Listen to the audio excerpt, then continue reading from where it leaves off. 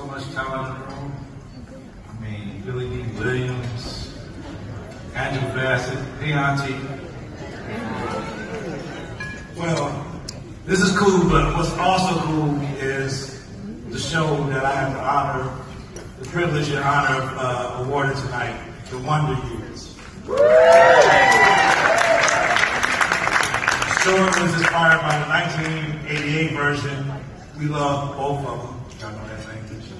For my fellow Vanderbilt alum and show creator, Saladin K. Patterson, added a little flavor. Like they used to, like the kids used to say back in 1988. This version of the Wonder Years is FUBU certified for us by us. Take a look at some really good nostalgia. Real life. You know, Bobby Seale and H. Rap Brown didn't even finish college. You're going to college. I'm sure the revolution's gonna need a good dentist or accountant. Besides, what kind of music professor would I be if my daughter didn't go to college? Bad enough my son doesn't have rhythm. Hey, Yet. My son doesn't have rhythm yet. You got to get at least a 1050 to get into Auburn. Auburn. Mm-hmm. Plenty good black colleges out there too, you know. She can go to Tuskegee, like us. Better yet, Spelman. No boys. It's a win-win. for who? Win, win. Every good day comes with sunshine.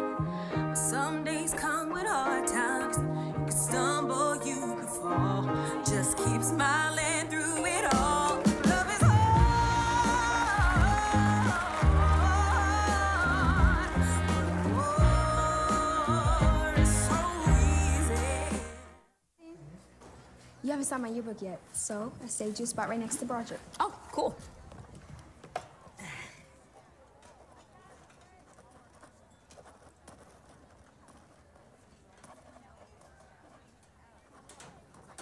There you go.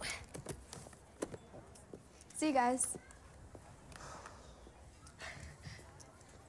What? Not only did you just write the longest note in history, you signed it Love You Dean. No, I didn't. Uh, yeah, you did.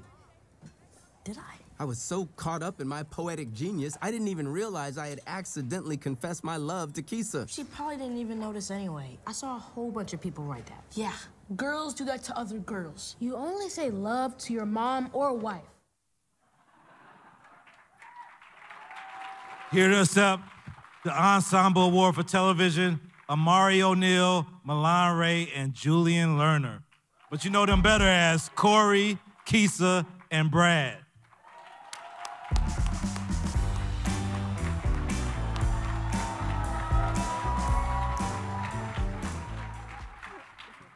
Uh, thank you so much to the Critics' Choice Association for recognizing us in the ensemble of the Wonder Years.